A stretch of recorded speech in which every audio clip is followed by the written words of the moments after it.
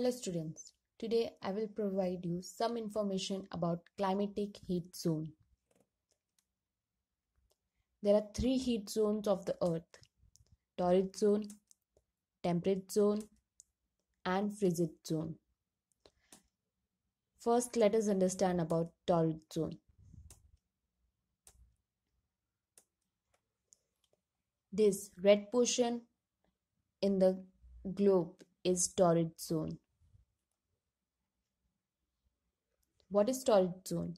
The torrid zone refers to the area of the earth between the Tropic of Cancer and the Tropic of Capricorn.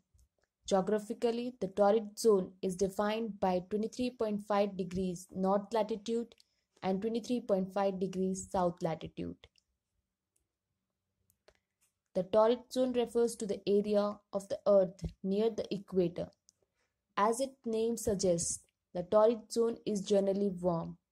It has a wet and dry season but does not experience the four seasons familiar to residents of the temperate zones further from the equator.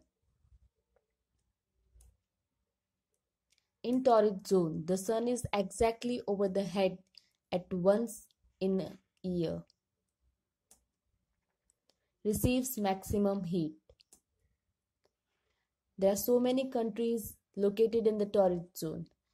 These are the few countries which are located in the torrid zone.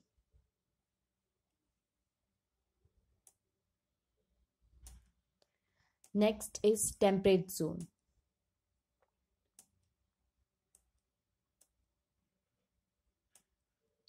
What is temperate zone? The part of the Earth's surface lying between the Tropic of Cancer and the Arctic Circle in the Northern Hemisphere and Tropic of Capricorn and Antarctic Circle in the Southern Hemisphere.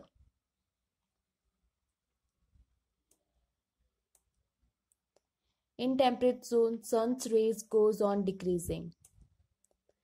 It has moderate climate.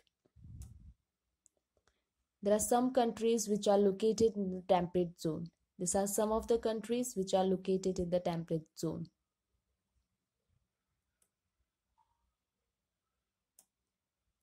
Next is frigid zone. Now what is frigid zone? The area or the region between the Arctic Circle and the North Pole and Antarctic Circle and the South Pole is known as frigid zone.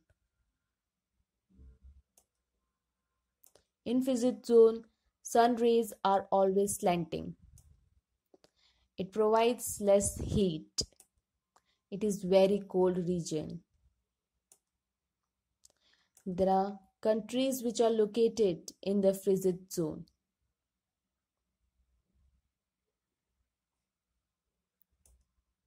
I hope you got all the information you are required for the topic.